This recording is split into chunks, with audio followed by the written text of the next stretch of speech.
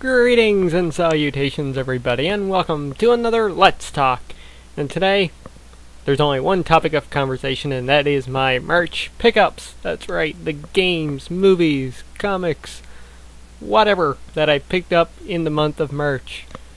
I won't go over comics because once again, various variety, including the Age of Ultron series, which has been released over this past month. But let's dive into it with the uh, first little block of games here that I have. Well, two games and one book, actually. And that's Pokemon Conquest for the DS. I've heard really good things about this game, especially from my friend.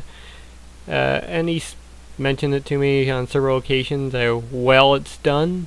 And I saw it in Toys R Us, and I just had to go for it. That's right, instead of picking up something like Bioshock Infinite, I picked up Pokemon Conquest.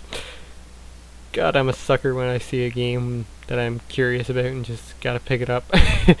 uh, secondly, here I have PlayStation All-Stars Battle Royale. I originally picked it up solely on the purpose of being able to take it over to a friend's place and a bunch of us to play it. I have since platinumed the game since I picked it up. It's quite an easy platinum too, and uh, if you're a trophy hunter like myself, I highly recommend it for that fact.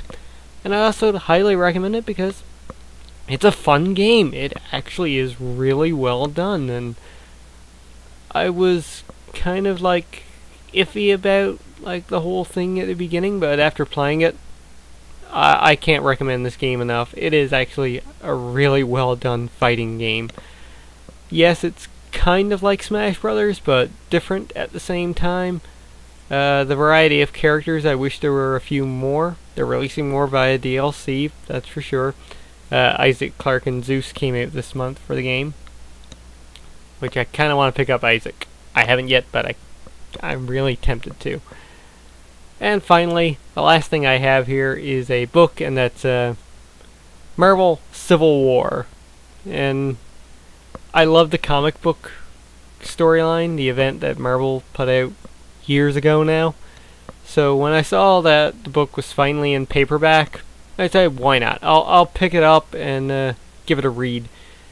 Not I haven't read it yet. Uh, it's the next book I'm going to dive into uh, once I'm finished with the one I have now at work. So I can probably tell you more about that in the future. Actually, you listen to the Canuck podcast. I'll probably be mentioning it on my uh, what I'm reading section. But okay, that's the uh, three smaller ones out of the way, let's dive into my big pickups for the month of March. First here is the Tomb Raider Collector's Edition. Now I have finished Tomb Raider a uh, couple a week ago actually, and my God, this game is wonderful. And the Collector's Edition, absolutely worth the money after I got it. Originally never had it pre-ordered or anything. I just walked into my local EB and I had a normal copy pre-order and I saw this behind the, the counter and I was like, is that for sale? And the girl was like, yeah. And I was like, yeah, I'll, I'll take it. But the collector's edition is nice. As you can see, it comes in this uh, spiffy little Survivor tin case. Packaging. It's not actual tin case, but tin packaging. You know what I mean.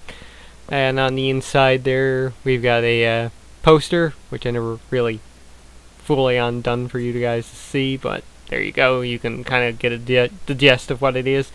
It's a double-sided poster. One side has Lara onto it, which is on the box art of the game, and the other side has the map of the island, which is pretty cool. And the other item there you see is a uh, lithograph, which came with the uh, collector's edition. Very nice, high-quality picture here. And also in the collector's edition is a uh, art book and a soundtrack, which is beautifully done. I love the soundtrack so much of this game.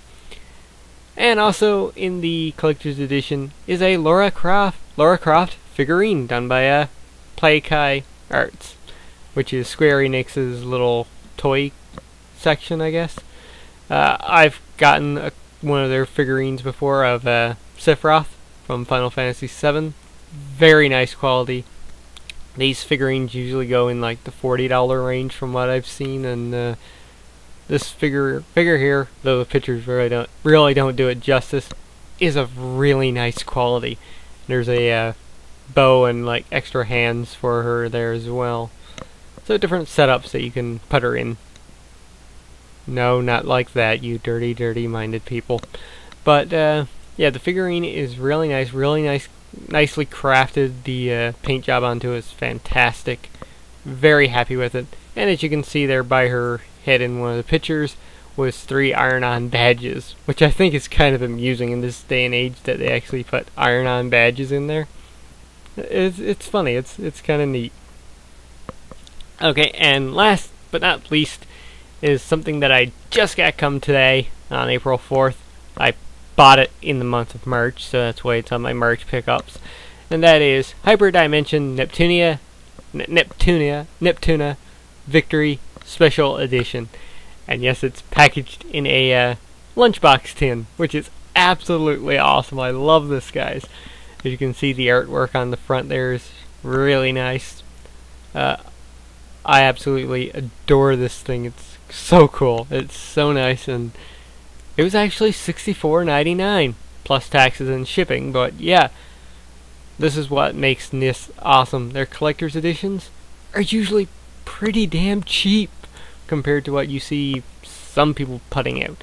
I mean, the Tomb Raider one was $99.99, and I'm sure if Square Enix had done this collector's edition, it would probably have been around the same thing, like a hundred bucks or more.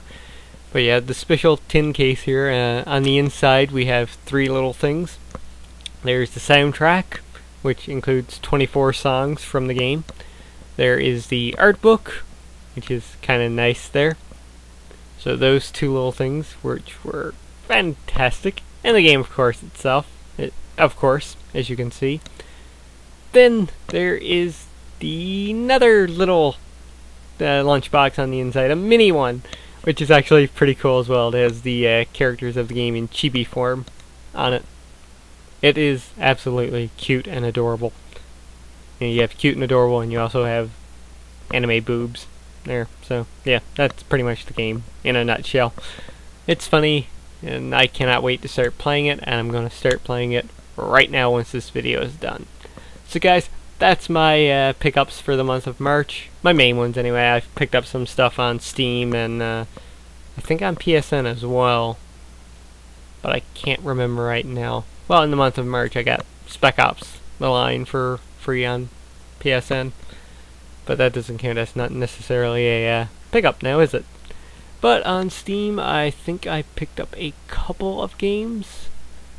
Ah, yes, I picked up uh, Baldur's Gate Enhanced Edition, and I also picked up uh, the Oregon Organ Trail Director's Cut, which is absolutely so amusing. Uh, they also had an indie sale going on, so I picked up Dead Pixels, Deadlight, Analogue, a hate a hate story game and soundtrack bundle, and uh, the Gundemonium collection, which I probably might not have pictures for all these guys, so I'm sorry, just enjoy a little picture of the Steam thing. So, that's going to do it for my March pickups video. I thank you for watching. I've been Lord X. You've been awesome. Down in the comments below, let me know what you picked up in March, or what you've been playing. You know, just do it. Maybe even leave a video response to this, showing your March pickups. And until next time, I will catch you later. Goodbye, everybody.